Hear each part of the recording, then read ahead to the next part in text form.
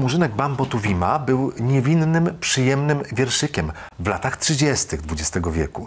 Dzisiaj już wiemy, że słowo murzynek czy murzyn jest słowem, które może naznaczać. Jestem y, przeciwny cenzurowaniu kogokolwiek, natomiast y, od tego są y, krytycy, od tego są dziennikarze literaccy, od tego w ogóle jest opinia publiczna, żeby się z tym zmierzyć. Czytanie krótsze niż pół godziny to jest bez sensu, bo w ogóle nie wejdziemy, nie wejdziemy w treść. Pół godziny to jest to minimum. Najlepiej no, półtorej do dwóch, no ale nie każdy sobie może na to, Na to na to pozwoli. pozwoli.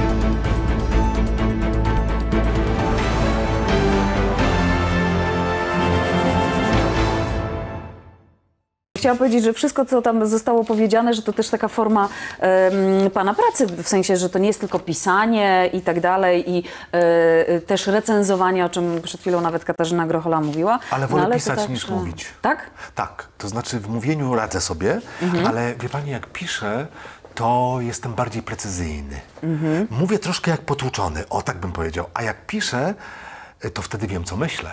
Mhm. A jak mówię, to nie wiem do końca, co myślę.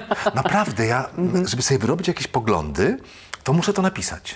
I wtedy już wiem, o co mi Jaki chodzi. pogląd mam? Naprawdę, naprawdę. Pisanie jako akt poznawczy, to znaczy jak biorę, e, chciałem powiedzieć pióro, czasami się zdarza pióro, ale częściej po prostu klawiaturę albo telefon, no to, to, to wtedy mi dopiero się układają myśli. Nie wiem, co to jest. To jest jakaś, jakiś rodzaj e, po prostu pewnej konstrukcji umysłowej, która tak się musi odbywać, a nie inaczej. E, a rozmawiać z kimś i zadawać pytania pan lubi albo lubił? Tak, lubię. Lubię, bo mm, często to właśnie jest taki, bym powiedział, takie obcowanie z drugim człowiekiem, y, bo to jest coś więcej niż tylko zadawanie pytań i odpowiedzi, prawda? I na przykład bardzo nie lubiłem tych wszystkich online'ów, Ojej, straszne. prawda, przez Whatsappa, przez, przez te inne komunikatory, bo ja wtedy nie, ja muszę mieć, ja muszę mieć prawdziwego człowieka. To po prostu jest człowiek, i coś się dzieje takiego, że to wpływa na mój organizm. A jak jest ten człowiek za ekranem, to to nie wpływa na mój organizm. I wtedy jestem taki, jakby to powiedzieć, zimny przekaz jest. Tak. Nie Prawda? włączają się te emocje, które powinny się Naprawdę, włączyć. no. Absolutnie się zgadzam, ale dlatego zapytałam, czy lubi Pan rozmawiać, no bo oczywiście jakby rozpoczynając cykl naszych tutaj programów, tak w pierwszej chwili pomyślałam, Mariusz Szczygieł musi być pierwszym moim gościem, no bo przecież od razu mi się kojarzy z talk show na każdy temat. I to był taki pierwszy talk show, który wszyscy Polacy oglądali. No tak było. Albo prawie wszyscy Polacy Tak było oglądali. rzeczywiście. Y, To był, to był program, który ludziom dawał do myślenia, bo tak trochę szokował. Y, Pojawiały się osoby, których wcześniej nie było w telewizji. Po prostu telewizja publiczna nie pokazywała tematów, które się wydawały jakieś trochę może lekko obrzydliwe, skandalizujące, kontrowersyjne, ale nie tylko takie, znaczy były kontrowersyjne, ale bardzo słuszne. Na przykład pamiętam, że jako pierwsi zaprosiliśmy, to połowa lat 90., kobiety po amputacji piersi. No to były bohaterki. To, to prawie 30 lat temu powiedzieć o tym w telewizji, yy, to było naprawdę przełamanie tabu. To, i, i to było jakieś osiągnięcie. No. Ale to jest niewiarygodne, jak się czasy zmieniają, tak sobie myślę, co y, w latach 90. było tematem tabu, a co jest dzisiaj, nie? Ha, oczywiście. To jest niesamowite. Zresztą e, e, też w kontekście, to pewnie do tego za chwilę dotrzemy, e, Murzynka Bambo, którym Tak. się Weltshina zrobiło, bo też przeczytałam o tym i doznałam lekkiego szoku, że, że mm, chcą cenzurować książki i usuwać To z ja nich. jestem przeciwko. A propos, nie wiem, czy nasi widzowie mieli okazję o tym przeczytać, że pojawił się pomysł, znaczy to już jest chyba wdrażane w życie, żeby z książek, które czasami są naprawdę klasykami, usuwać fragmenty, które mogą być obraźliwe, Tak, zwłaszcza w Stanach, e, zwłaszcza w niepoprawne Ameryce. politycznie, Nie, rasistowskie. to ja uważam, tak. Że w pustyni i w puszczy powinno zostać takie, jakie jest i Kali y, ma mieć swoją moralność y, i nie należy tego poprawiać, ale należy o tym dyskutować. Jeśli to wydajemy na nowo, to należy napisać, co dzisiaj my o tym myślimy, albo dlaczego autor y, prawda, tak to napisał, a nie inaczej. Y, Wydaje mi się, że, że po prostu tłumaczenie, rozmowa, dyskusja, debata to jest istotne. Tak, że książka w innych realiach, w innych czasach się ukazała i Oczywiście, tam inne oczywiście. podejście do pewnych tematów E, było. e, e, Wierszyk Murzynek Bambo Tuwima był niewinnym, przyjemnym wierszykiem w latach 30. XX wieku. Dzisiaj już wiemy, że słowo murzynek czy murzyn jest słowem, które może naznaczać, a wiemy od kogo to wiemy? Wiemy to od tych, którzy y, są czarnoskórzy ym, i Czują się naznaczani. y, mieszkają w Polsce i czują się naznaczani. W związku z tym no, należy uszanować ich, ich uczucia. O, tak, tak, tak bym powiedział. Ym, nie da się ukryć, że, Ale że przepraszam, ale nie przepisywać wierszyka. Nie przepisywać wierszyka, że mamy nagle po, poprawiać tuwima i wkładać do elementarza nową wersję. Nie. Tak, ja przeczytałam gdzieś, że, że, że podobno chcą się dobrać, czy już się dobrali do Jana Fleminga i, i Bonda, gdzie, nie wiem, słowo jest, Mhm. że, nie wiem, bohater jest gruby i brzydki, no to trzeba te słowa usunąć. I, I zastanawiam się właśnie, gdzie jest ta bardzo cienka linia, e, gdzie używamy pewnych sformułowań słów i kiedy one stają się obraźliwe, żebyśmy nie, nie popadli w jakieś szaleństwo po prostu. No, wydaje mi się, że tak, że literatura ma prawo opisywać każdego potwora, każdego szaleńca, prawda, w taki sposób, w jaki chce.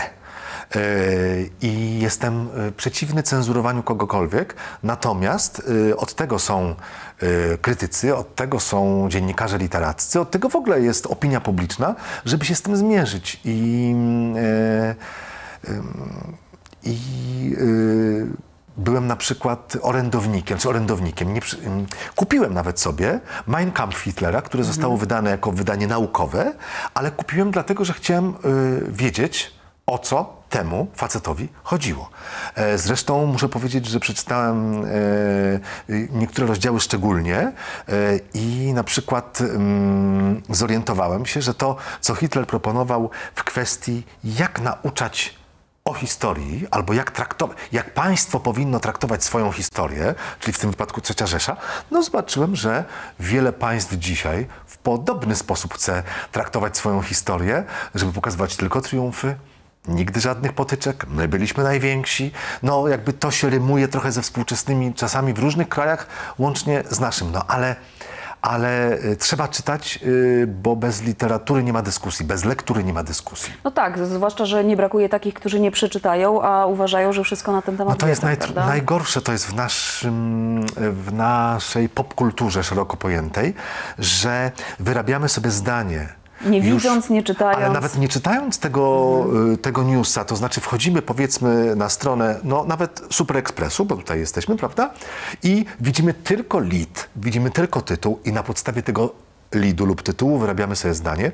Mówię też o, mm, o poważnych publikacjach, y, nawet y, naukowych czy popularyzujących naukę.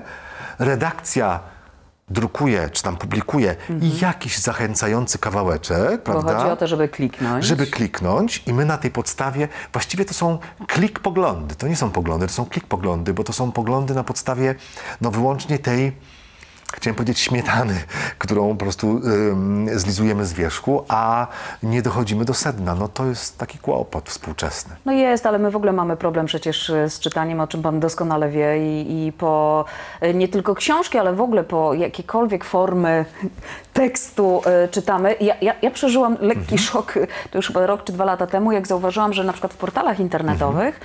obok jakiegoś tekstu niekoniecznie długiego pojawia się informacja, ile czasu zajmie mi przeczytanie Tak, tego. to jest niesamowite. Ja mówię, ale, ale po co? Tak. Zajmie ci to Naprawdę? 7 minut, Tak. zajmie ci to 2 I już minuty. ktoś wychodzi, nie czytamy 7 minut. Nieprawdopodobne. Wie pani, że zwróciłem na to, raczej zauważyłem to, ale właściwie zap, zapominam o Tak, tym. tak. A jest to jakiś dowód, jest to jakiś znak czasów. Tak. Ale powiem pani, zwierzę się, że przechytrzyłem tych, którzy nie czytają moich książek. Mhm.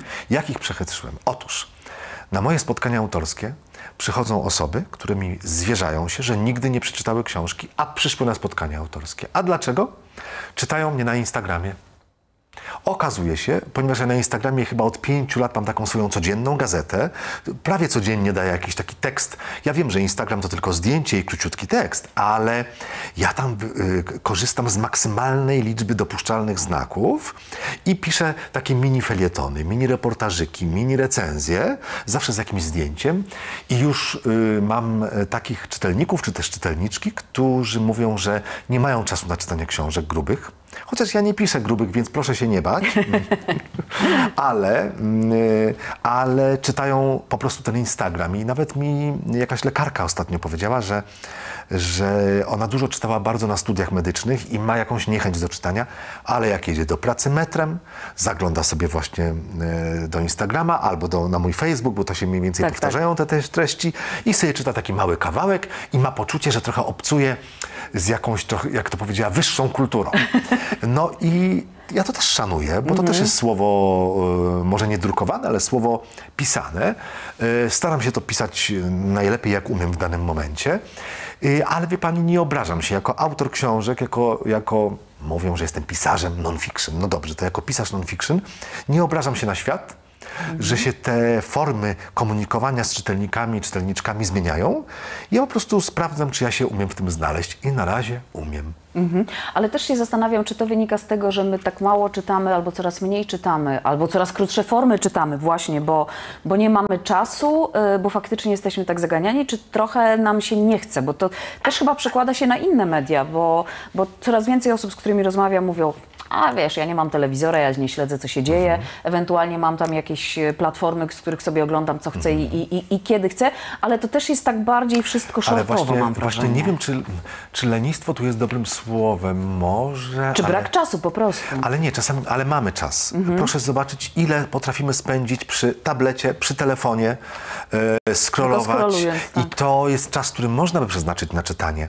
Tylko tych, y, tych y, y, y, bodźców jest tak dużo w tej migotliwej cywilizacji, że wydaje mi się, ja sam to widzę po sobie, że jak wracam do domu i się kładę na kanapę z moim kotem i sobie zrobię picie i tak chcę chwilę odetchnąć, no to jeszcze we mnie, e, jak to powiedzieć, wie pani? Buzuje. Buzuje. I Jeszcze tam ten rytm miasta, rytm życia e, we mnie jest. I, i w związku z tym e, biorę ten telefon i dawaj tam, prawda, szukać, odpisuję na wiadomości, e, czytam, co piszą inni, a to wszystko jest oczywiście szybkie, krótkie mm, i, i nie tak łatwo się uspokoić.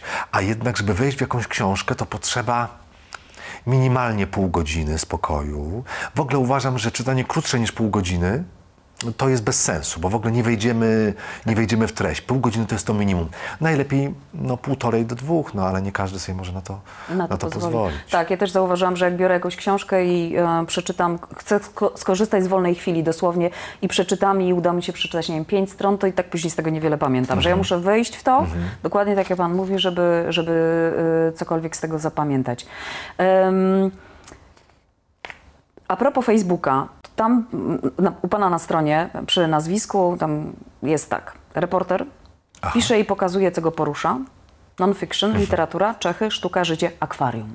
I mnie to akwarium No, zaintrygowało. bo ja jestem akwarystą. Jestem akwarystą, to się stało w pandemii trzy lata temu. Założyłem akwarium dzięki mojemu przyjacielowi, który jest też jest akwarystą.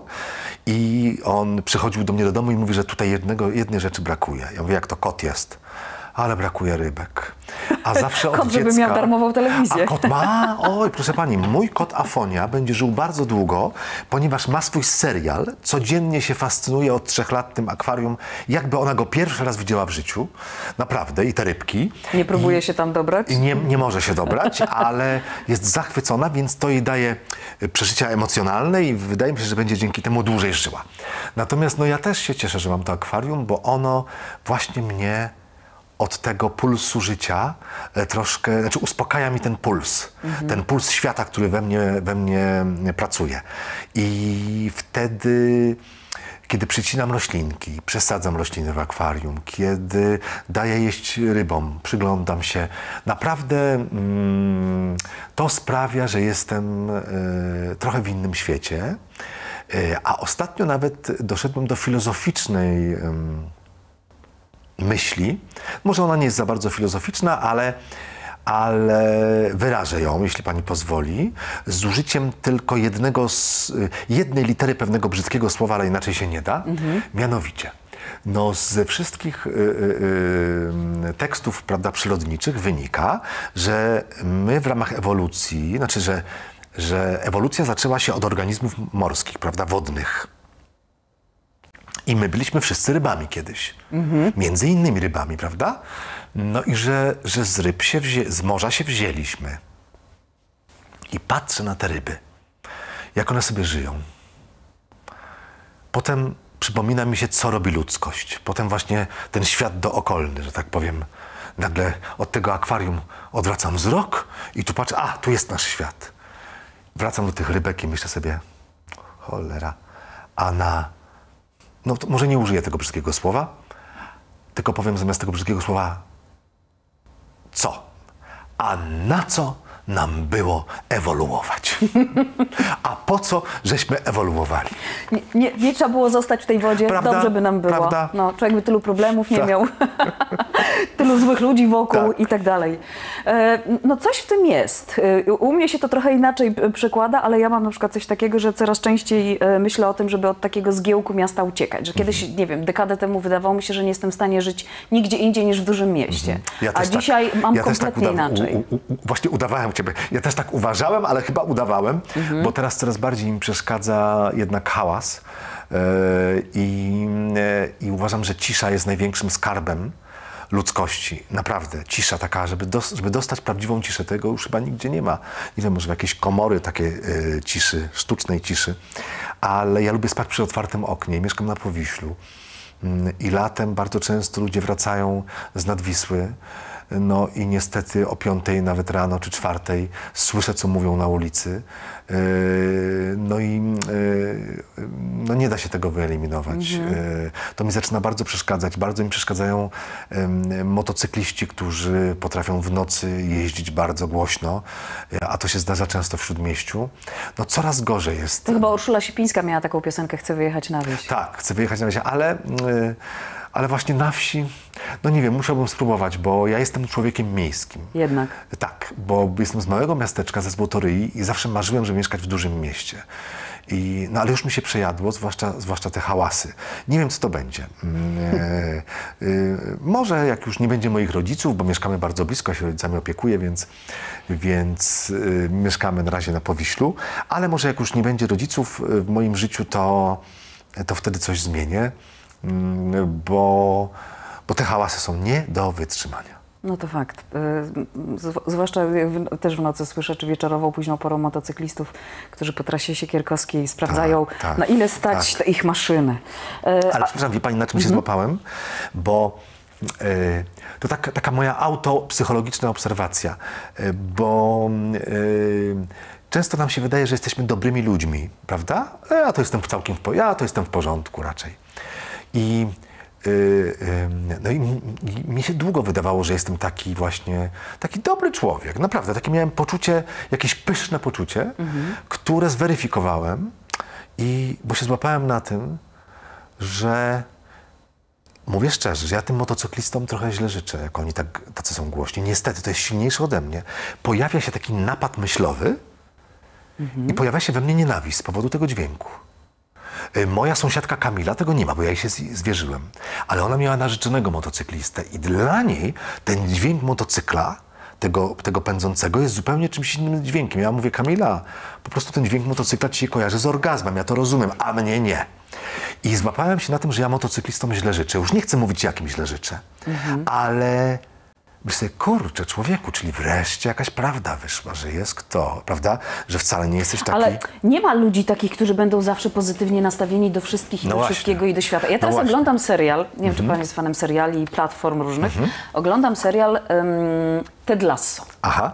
Nie wiem, czy widział Właśnie pan. nie, ale już mi dwie osoby polecały. No, to ja polecam To ja dzisiaj widzom. oglądam pierwszy odcinek.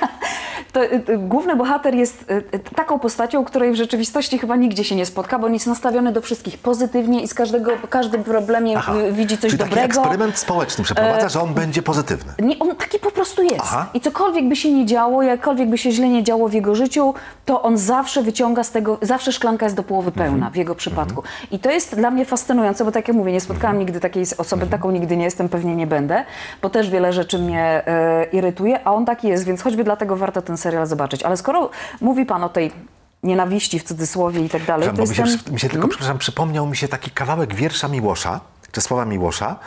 Mm, y, taki maleńki kawałeczek, bo to jeden z moich ulubionych poetów. I on napisał tak. Kiedy biesy tańczyły we mnie, wydawałem się sobie aniołem. I to jest bardzo piękne, bo to, i, i sprawdziło mi się to y, też w życiu, w sensie jak obserwuję ludzi, że właśnie y, bardzo często ci, którzy, y, którzy są właśnie tacy dobrzy, tacy właśnie mm, bardzo pozytywnie nastawieni, o, to jest tylko maska, to jest tylko maska. I, i to jest bardzo, bym powiedział, e, udany ten, e, ten, ten A w środku siedzi ten cały Tak, a w środku siedzi ten demon, o, tylko, e, tylko trzeba tego demona odkryć i trzeba z nim zrobić porządek. I trzeba wy, wyważyć demona i anioła w sobie i temu dobrze służy chyba też na przykład psychoterapia może służyć, no ale... To ja się zastanawiam, jacy są ludzie, którzy y, wylewają wszystko z siebie i obrażają innych. A propos nawet wierszyka Murzynek Bambo, pan z TVP Opole, nie pamiętam chyba, e, e, który skomentował to w dość dosadny sposób. Podobno został zawieszony. No to co z takimi No ludźmi? to on mnie obraził, akurat obrażał No. mnie homofobicznie. No, ja powiem szczerze tak. e, nie, nie, bardzo ciężko jest mnie obrazić, ponieważ mam e, w miarę dobre zdanie o sobie i e, przyjmuję na przykład chętnie krytykę, która dotyczy moich książek, mojego sposobu pisania. E, Wie pani, no, czyli takich rzeczy. No artysta musi się z tym liczyć. Właśnie, więc ja się z tym liczę i to jest w ogóle fajne, że komuś coś nie podoba. E, Ja z moimi krytykami na przykład często rozmawiam, prawda, że na przykład tłumaczę, dlaczego coś zrobiłem, a oni mówią, dlaczego uważają, że mogłem inaczej, a potem ich przekonuję, że nie mogłem inaczej. I to jest fajne. Natomiast jak ktoś y, po prostu rzuca jakiś okropny, obrzydliwy, y, w tym wypadku homofobiczny tekst, no to to o nim tylko świadczy. Więc ja temu panu na Facebooku wysłałem tam z 17 takich tych y, ust, takie, wie pani, te emotikonki, że ja mu po prostu wysyłam mu jak Violetta Villas, całuję go w samo serce. No ale y, moi znajomi, y, moi koledzy dziennikarze y, po prostu uznali, że to jest coś, co mm, no, nie licuje w ogóle jeśli ten pan pracuje w telewizji, w TVP.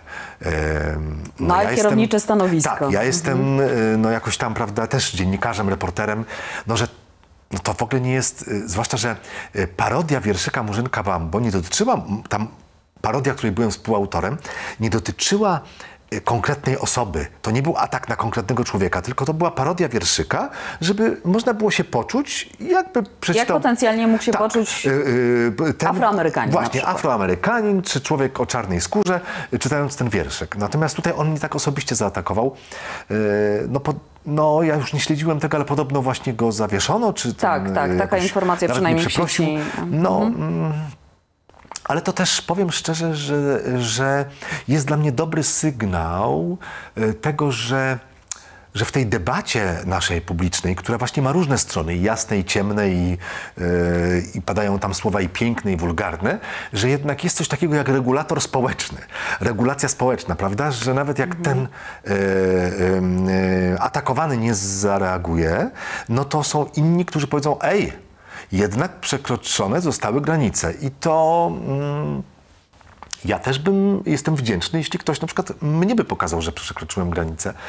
E, I, no ale cóż, cóż, żyjemy w takim świecie, który jest bardzo zero-jedynkowy. To znaczy, prawda, mówiliśmy o, o mediach społecznościowych, że czytamy tylko ten nagłówek i, i dalej co robimy? Lajkujemy. Czyli daję lajka, prawda? Lajkuję, odlajkowuję. Dobry, zły, plus, minus. Czyli żyjemy w takim świecie bipolarnym, gdzie już wszystko jest białe, czarne, nie ma szarości. A przecież szarość właśnie, to znaczy y, stopniowanie, mm, y, niuansowanie, no to jest podstawa, bo nikt z nas nie jest dobry lub y, zły, Zły. prawda? My możemy się na przykład zgadzać w kwestii, nie wiem, możemy mieć poglądy, podobne poglądy na sztukę współczesną, a możemy mieć odmienne poglądy, dajmy na to, nie wiem, na coś innego, prawda? Nie wiem, na szczepionki. No i czy to oznacza, że od razu musimy sobie ska- skakać do gardła? Czy to oznacza, że ja muszę od razu, od razu panią e, kancelować, jak to się mówi, a pani mnie? Mm, No nie, możemy znajdować wspólne, wspólny, e, wspólny zbiór lub powiedzieć sobie, no w tym się nie zgadzamy i w tym się nie dogadamy. Ale można to robić bez... Obrażania. Bez obrażania, prawda? Dokładnie, dokładnie. E, Panie Mariuszu, co by zakończyć pozytywnie, Aha, chciałam... dobrze. Nie no, to żeby mm, rozmawiać bez obrażania, myślę, jest absolutnie czymś pozytywnym, ale chciałam zapytać, czy, bo trwają targi, na których się dzisiaj Tak. nawet spotkaliśmy na Narodowym, czy Pana będzie można tam jeszcze zobaczyć w ten Tak, weekend? bardzo zapraszam. Jutro od 13 do 15.30 podpisuję swoje książki. Wszystkie, jakie się da, nawet nie swoje. nie, żartuję, że nie swoje, bo jest taka seria literatury czeskiej Stechlik, a Stechlik, tylko nie Zdechlik, a Stechlik, bo to po czesku znaczy szczygieł. I to są takie moje ulubione czeskie książki, które wydajemy w wydawnictwie Dowody, więc to są czeskich autorów, ale je też podpisuję. więc jutro o 13 podpisuję, a o 15.30 mam na głównej scenie spotkanie z trzema reporterkami. Yy, Nowa fala w polskim reportażu, które opowiedzą w ogóle jak powstały ich książki reporterskie i w ogóle jak powstaje książka reporterska. Cudownie, to zapraszamy serdecznie. Zapraszamy. E, Ja z kolei już e, rozmawiałyśmy z Katarzyną Grocholą i z Dorotą Szalęgowską. W niedzielę się spotkam na też stadionie, więc e, na targi zapraszamy. E, Dzięki serdeczne za Bardzo to spotkanie. dziękuję. Następnym Polecam razem się. dłużej, mam Dobrze. nadzieję. Mariusz Szczygieł był razem z nami. E, Wieczorny Ekspres w poniedziałek, 18. W imieniu Wiktora Świetlika zapraszam udanego weekendu z książką w dłoni. Do zobaczenia. Dzięki serdecznie. Dziękuję.